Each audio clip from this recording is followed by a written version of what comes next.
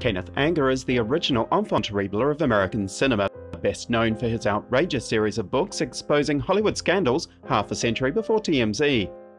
Born in California, Anger made his first film in 1936 and studied cinema at university in Hollywood after his family relocated to be near his lesbian grandmother, who encouraged his love of cinema. Creating things makes me happy. An acknowledged adherent of the Thelema religion, Anger became close friends with its founder, Aleister Crowley, influencing his entire life's work. Anger's homoerotic 1947 short, Fireworks, resulted in him being put on trial for indecency, though he was subsequently acquitted. The film Puce Moment was filmed in colour and released in 1949. I prefer film to be a kind of vision, like a silent dream. In 1951, he moved to Paris, becoming the protege of surrealist artist and filmmaker Jean Cocteau, producing a number of short films including Eaux d'Artifice and Inauguration of the Pleasure Dome.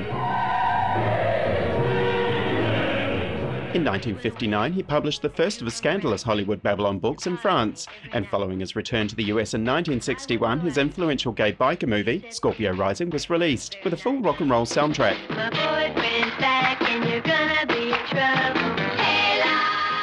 The film was seized for obscenity on its 1963 debut, overcoming US pornography laws in the Supreme Court.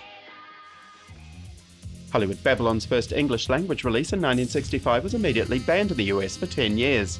The book was updated and republished in 1974, followed by a sequel in 84 and a TV series in 92.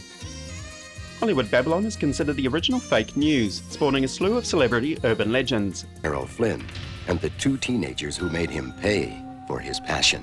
In 1969, Invocation of My Demon Brother was released, starring and scored by Mick Jagger. Rabbit's Moon, which was mostly filmed while Anger lived in Paris, was released in 1972, with a shortened re-release in 79. In 1981, after a decade in production, Lucifer Rising was finally released to critical acclaim.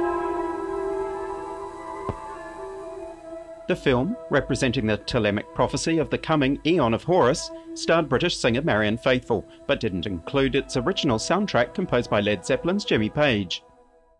In the following decades, Anger's life and works were explored in several documentaries, but he produced little original work himself. In 2009, a retrospective of his work went on show in New York, with a similar London exhibition the following year.